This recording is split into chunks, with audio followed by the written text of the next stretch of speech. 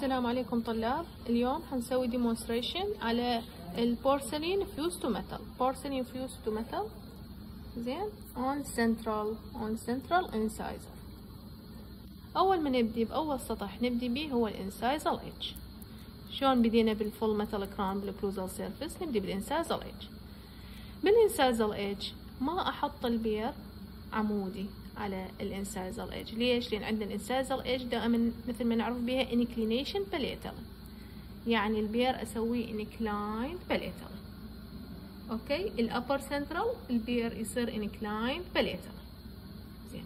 إيش قد ال reduction لل incisal edge حسب ما تتذكرون بالمحاضرة 2 ملي فلازم أسوي depth orientation groove 2 ملي فأجيب bur أقيسه بالمسطره أنا محضره bur.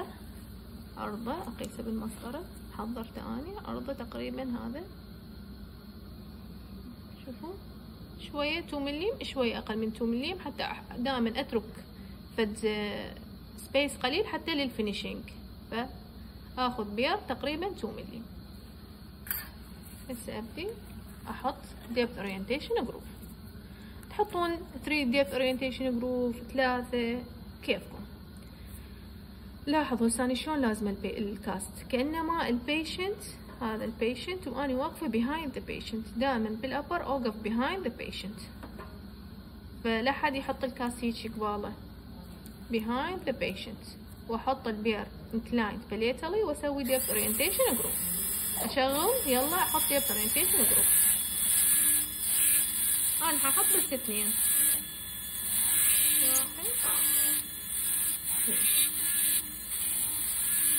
okay اشيكه على عرض ال bur صار زين. حطيت قلت هذا صار two depth orientation groove ها واضح؟ هسه ابدي أقلل ال incisal edge إلى أن يختفي ال depth orientation groove يعني أمشي على ال incisal edge إلى أن تختفي الجروفات الصارت البير لا حد يحطه خمسة وأربعين. قلنا انكلاين انتبهوا على انكلاين